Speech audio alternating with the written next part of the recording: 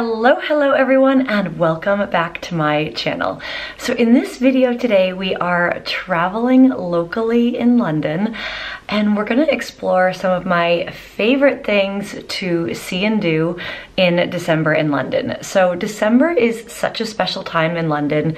It's actually one of my favorite times, even though it's a little bit chilly out because the city is so magically lit up and decorated for Christmas.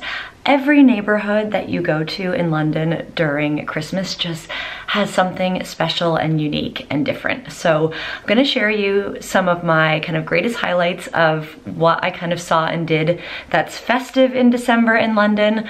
I'm also gonna take you to a festive lunch that I had for Christmas at the Thomas Cubitt pub, which was outstanding and you don't just have to go there around Christmas, you can go there any time of year. And last but certainly not least, I am also going to take you to a pop-up exhibition at the Saatchi Gallery, which is the Bulgari Serpenti exhibition. And it's called Metamorphosis and it was such a spectacular immersive experience and of course I brought my camera along. So if that sounds good, come join me for some fun in London. There are so many great places you can check out festive Christmas lights in London, but one of my favorites every year is South Molton Street with these dramatic blue arches with the stars on it. It's just so beautiful to kind of stroll, walk down the street, take some pictures. It's definitely always a must visit for me every December.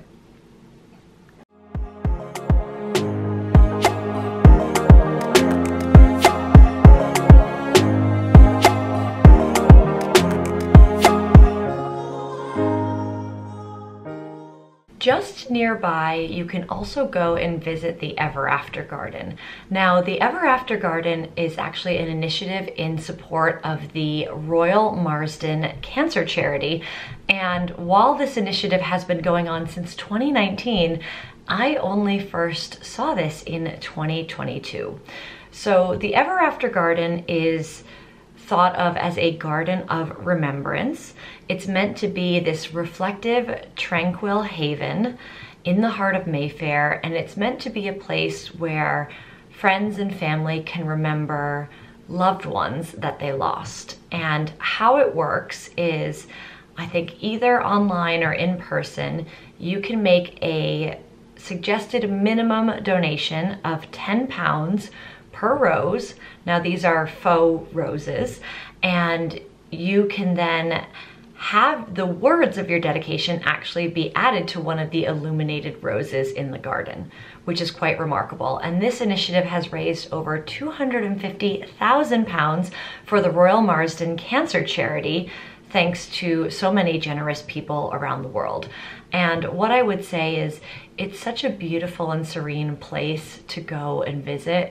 It really is special to see all of these kind of white illuminated cloth roses lit up in the garden square and I would definitely as a result recommend that you go and visit in the evening so that you can truly experience kind of this tranquil tranquil uh, garden of reflection at kind of the peak time to experience it. Now this initiative has ended at the end of December, so this is one to mark on your calendars for this coming year and future years should you be in London around November or December months. Two other great spots to check out in Mayfair would be the famous Claridge's Hotel, which is just as stunning on the outside as it is on the inside for Christmas. Definitely book in for a festive drink or tea if you are willing to have a splurge. And another one that's also in Mayfair that has done these really lovely displays the past few years is Koyn Restaurant, which is very much on my list to try because the menu looks great. But I loved this red old school mini with the Christmas tree on top and it was stuffed to the brim with presents on the inside. So great for a Christmas photo op. And then moving along, another neighborhood you might not expect that is very festively fabulous is Paddington, and specifically the Sheldon Square Paddington Central area. They had festive phone booths. A lot of the restaurants had done beautiful decor, kind of highlighting the outside of the restaurant, which I really loved, like Smith's Bar and Grill and uh, Aliu, I hope I'm saying that right. But they also had some really exciting other installations throughout the area, including this really fabulous London bus, which actually kids, or I guess fun-loving grown-ups could go inside and have a picture of themselves inside the ground floor of the festive London Christmas bus, which was great. And of course, if you're in the area of Paddington, you have to go seek out the Paddington Bear statue, which is located just across the Darcie and May Green houseboat. So map that on Google Maps. Another must-see neighborhood in London during the festive period is Elizabeth Street in Belgravia. Now, Belgravia itself is a fabulous neighborhood and Eccleston Yards is great to visit as well. But Elizabeth Street, the restaurants and shops, they rise to the occasion like no other during Christmas. And they also do decorate for other festive times of year. So it's always really good to do a little research if you're gonna be in town, if anything else is going on. But some noteworthy spots were the Peggy Porschen cake and cupcake spot. Now they don't have a lot of seating inside, I believe, at this location, but could be great to grab a little takeaway nibble and go stroll the street.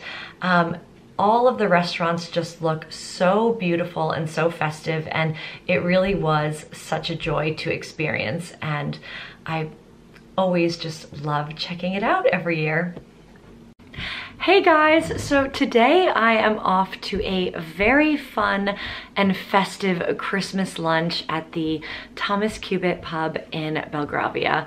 I have been here before, um, both for dinner and um, I think just dinner actually, but I'm really excited to try it for lunch even though I think the um, the menus are the same, although they do change seasonally. So yeah, let's go check it out and see how it is. All right, so lunch at the Thomas Cubitt pub did not disappoint. As I had mentioned before, I've been for dinner, but the menu was definitely different this time and it was fantastic. Everyone was so happy with their food, so I'm gonna give you a rundown of what we ordered. So we started with the beef carpaccio, which was incredible. I'm not usually the biggest beef carpaccio fan, but this one was just hit all the right flavor notes and I would definitely recommend it. We also had the most outstanding bread and butter. Oh, simple pleasures for me are a great piece of bread, a great like slather of salted butter. Mm.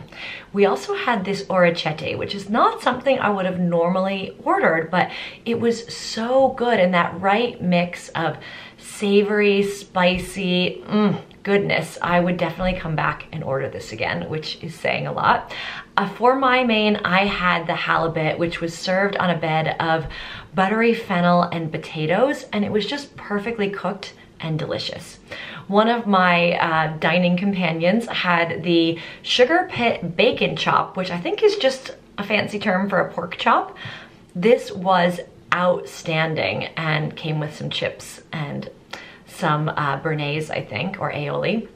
Another friend of mine had this amazingly huge steak. Now, this is definitely a very kind of steak and meat heavy pub, um, but you obviously, as you've seen, you can also get seafood, vegetarian meals, etc. One of my colleagues um, is pescatarian, so she ended up actually just having some of the starters and a really great salad. So, and as you saw with me, I had the fish, but also kind of tried a little bit of everything else. So there definitely are vegetarian friendly options. There are pescatarian friendly options, which really makes this pub a great all-rounder um, if you are looking for kind of a more gourmet pub experience in London. I will say, because it is more of a beef heavy menu, it is priced a little bit higher than maybe some of the other pubs out there.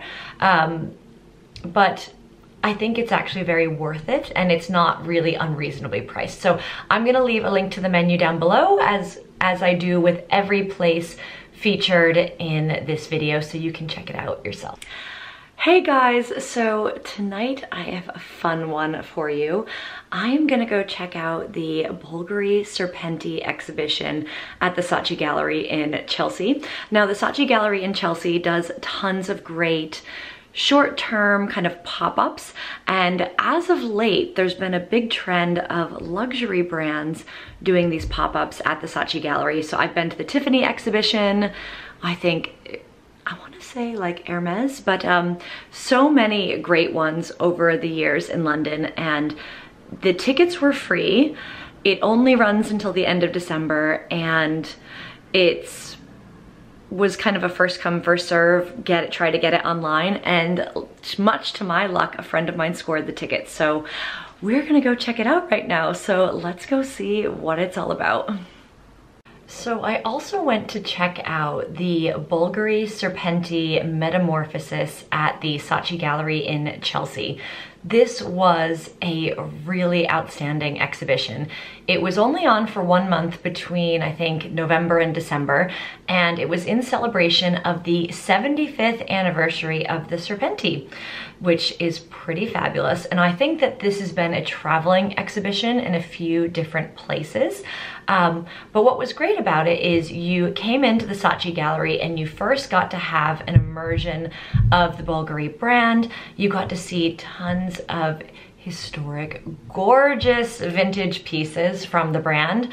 I've already picked out which watch I want, which was really lovely. So you get a mix of history, you get to see a mix of some of the vintage uh, Serpenti pieces and some of the famous people that have worn them, which was really wonderful. And then you get transported into the, I think it's the Metamorphosis room, which is this immersive experience that uses artificial intelligence to reimagine the Serpenti in many different and interesting ways. The idea behind the exhibition, especially the artificial intelligence component of the exhibition, was to celebrate and explore the ever-changing snake, specifically around continuous rebirth and continued evolution over 75 years. I mean, to think about an iconic part of the Bulgari brand that really has kind of passed the test of time. It has had to continually reinvent itself for the trends, the styles, the fabulous people that are wearing it over time. And what I loved is as someone who works in technology and marketing was to see the artificial intelligence and digital art component of this. It truly was mesmerizing and for a free exhibition, it really felt like a wonderful treat to get to immerse yourself in the Bulgari brand.